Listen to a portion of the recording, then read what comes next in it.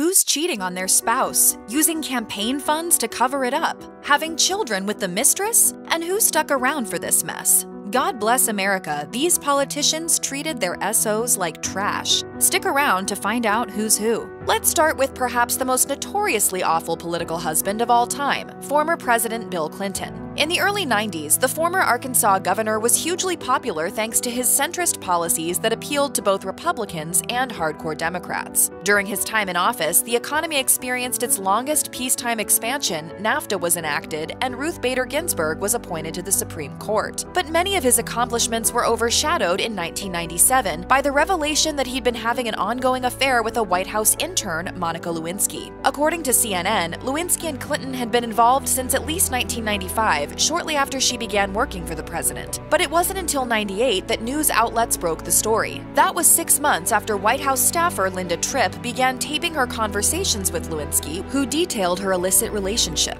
I did not have sexual relations with that woman. Clinton flat out denied the affair, a trial began, and a few months later, Clinton was impeached. Despite the drama and the pain he caused her, former Secretary of State and future presidential candidate Hillary Clinton stood by her man. The two are still married, and in the years since the affair, Hillary has rarely spoken about the incident. But in a 2020 docu-series for Hulu, the former First Lady did admit to feeling the pain. I was so, you know, personally just hurt. New York State Congressman Anthony Weiner, who was married to Hillary Clinton campaign staffer Huma Abedin, was caught in a sexting scandal that rocked the country in the early 2010s. The drama began in May 2011 when a suggestive picture of Weiner's crotch made its way onto his Twitter feed. He initially denied he had anything to do with the image, but less than a week later, he admitted the picture was taken and sent by him and that he had engaged in a number of online relationships. Over the next few years, the pattern would repeat itself. An outlet would report on explicit photos photos or messages sent by Weiner, he would deny it, then he would ultimately cop to it. Initially, Abedin stood by her husband, telling the press, I love him. I have forgiven him. I believe in him. And as we have said from the beginning, we are moving forward. But she changed her tune in 2016. After Weiner sent a suggestive picture to a woman that also featured his son, Abedin announced she was leaving the marriage. Weiner was then convicted of inappropriate sexual conduct with a minor in 2017. Four years later, during a sit down with CBS Sunday Morning, Abedin revealed that she's moved past her anger toward her ex, sharing, I can't live in that space anymore. I tried that. It almost killed me. In 2008, New York Governor Eliot Spitzer made global news when the New York Times revealed that he was involved with an online prostitution ring. Initially, it was believed that he had elicited the services of a sex worker just once, but as the drama unraveled, it became clear that he had spent as much as $80,000 on encounters with multiple women over several years. It was all especially shocking since he had prosecuted two or more prostitution rings during his time as New York Attorney General, and had come down hard on them both. Less than a week after the scandal broke, Spitzer resigned from his post as governor. With his wife Silda by his side, he stated, The remorse I feel will always be with me. At the time, it seemed that his marriage might weather the storm. Apparently, just like the public, Silda had also been blindsided by the affair. But five years later, in 2013, the couple finally called it quits. In a statement, they said, We regret that our marital relationship has come to an end. We have agreed not to make any other public statement on this subject. Another one time Democrat darling, North Carolina Senator and two time presidential nominee John Edwards saw his bright political career come crashing down. In 2007, the National Enquirer alleged that Edwards had been having an affair with one of his campaign staffers for at least 18 months. And it was all happening while his wife Elizabeth was undergoing treatment for late stage breast cancer. The story's false. It's completely untrue. Not true. At the time, Edwards called the allegations, quote, false absolute nonsense. However, investigative journalists proved that he was lying. Making matters worse, his mistress, Rielle Hunter, was pregnant and Edwards was the father. I did an awful, awful lot that was wrong. The news was devastating for Edward's wife. As a witness described Elizabeth's reaction in court via ABC News, she collapsed into a ball. Her primary concern was the family. She didn't want it to become public so the kids wouldn't have to deal with it. In the end, Elizabeth separated from John, but she died before she could file for divorce. John was also charged with six counts of misusing campaign funds. He allegedly spent over $900,000 of campaign money on covering up the affair, but he was not found guilty on all counts due to one acquittal and a mistrial. Today, he co parents his daughter Quinn with his former mistress.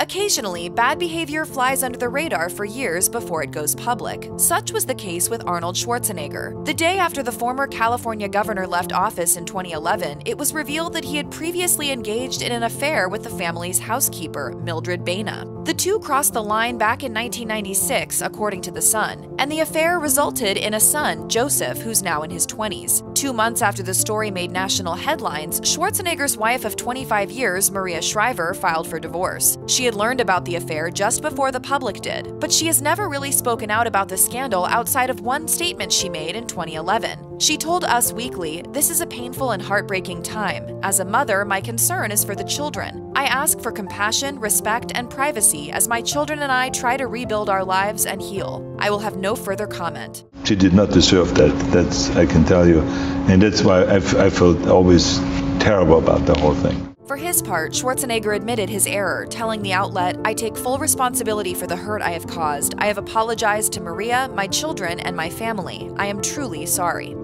President John F. Kennedy famously had affairs with a number of women while he was married to Jackie. Some of these affairs, like the one with Judith Exner, are well documented and certain. Others, like the possible fling with Marilyn Monroe, have never been confirmed. People magazine came up with six women in total, from White House staffers to DC's socialites. And in 2021, yet another woman claimed to airmail that she had been involved with the former president when she was in college. So, how did the former First Lady feel about her husband's frequent stepping out? As one of her biographers told People, she knew what was going on. She wasn't naive to it. They did have many conversations about it, and she did tell him that she was sick of it and she didn't like it. While the infidelities did lead Jackie to consider divorcing JFK on multiple occasions, she never took that step. As another biographer told the outlet, she came from a world where that's what men did, and it was accepted.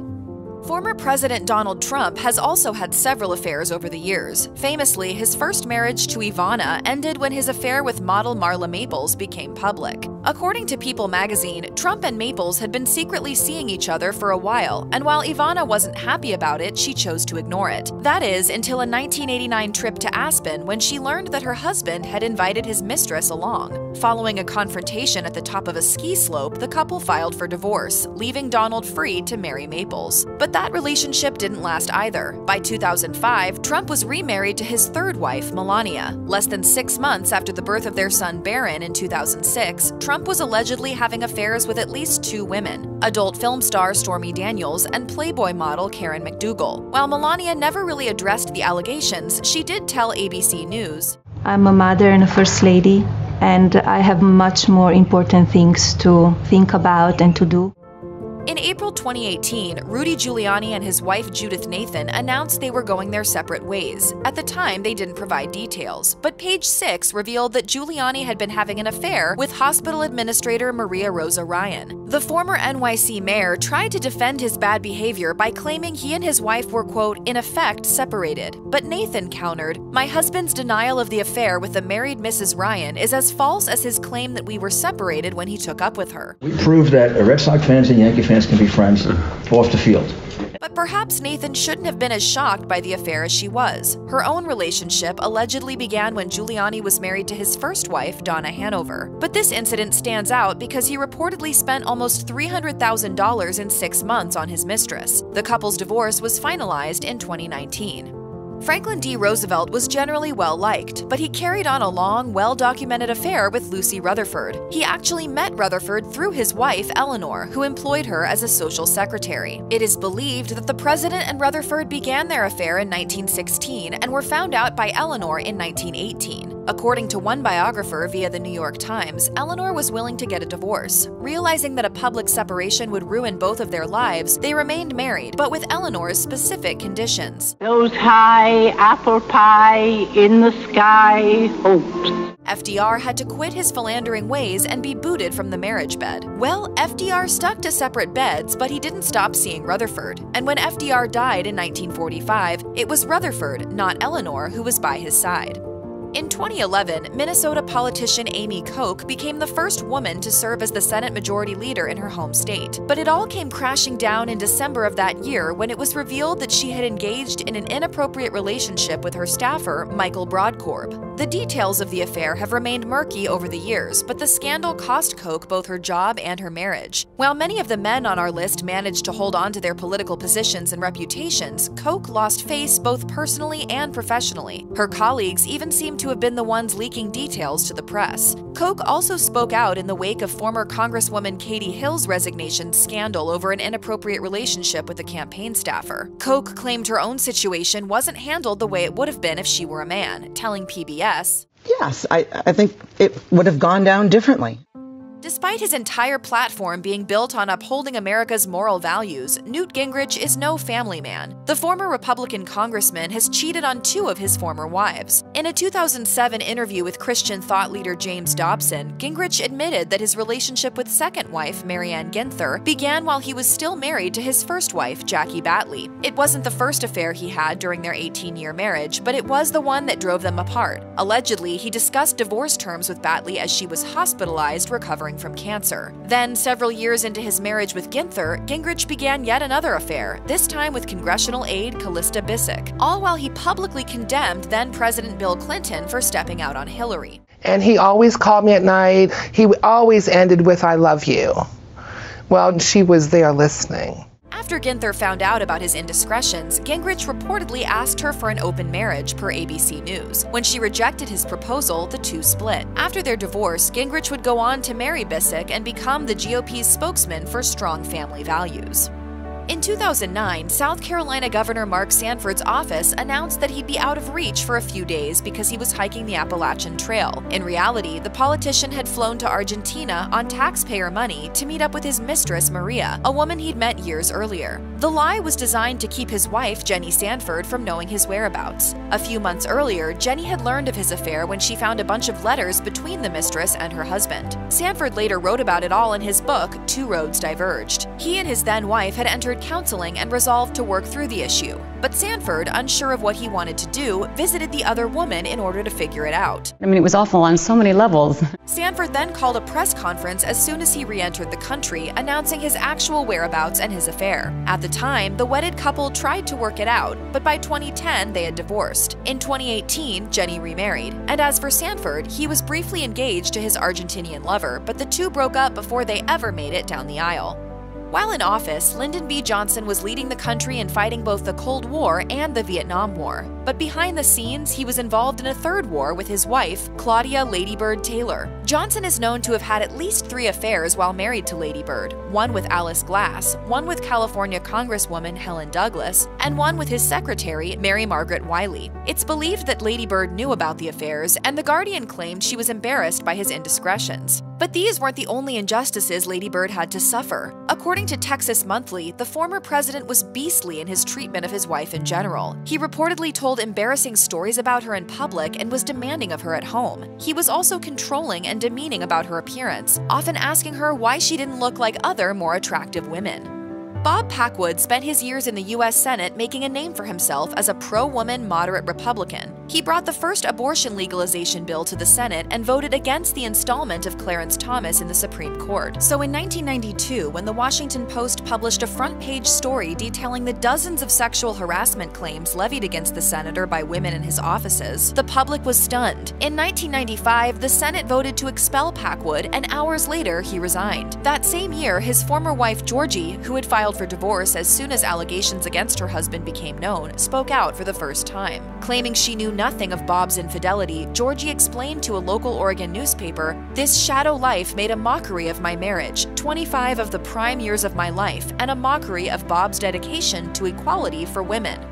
Elected at just 19, Kansas State Representative Aaron Coleman was making headlines in 2020 for all the wrong reasons. Journalists weren't writing about his historic win or progressive policies, but rather about his history of poor and illegal treatment of the women in his life. In middle school, a mere seven years before he won office, Coleman admitted on social media and to the AP that he'd been involved in a revenge porn scheme. He reportedly blackmailed a young woman when she wouldn't share explicit images of herself with him. Once the accusations came to light, Coleman admitted to The Intercept.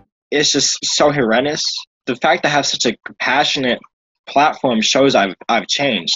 But unfortunately, it seems Coleman hadn't changed at all. In August 2020, a recent ex girlfriend of his came forward with claims that he had physically assaulted her the previous year. She shared text messages that corroborated her claims, and a friend backed up her version of events. Coleman's former partner hasn't formally pressed charges, but her alleged account, combined with facts from Coleman's past, make it clear that this politician hasn't changed course on his mistreatment of women. Coleman was arrested in November 2021 for traffic violations, and in January of 2022, the Kansas Democratic Party moved to suspend Coleman from the party for two years, according to Fox 4.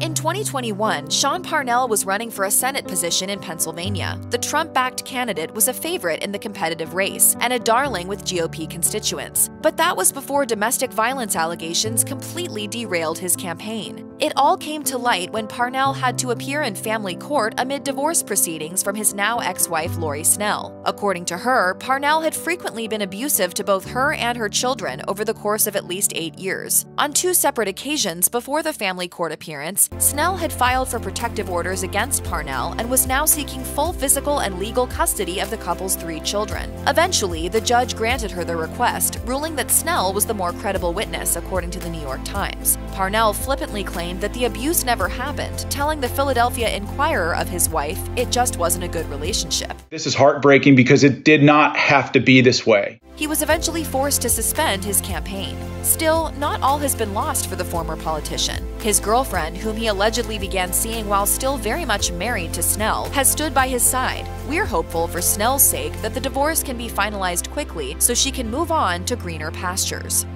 If you or someone you know is dealing with domestic abuse, you can call the National Domestic Violence Hotline at 1 800 799 7233. You can also find more information, resources, and support at their website,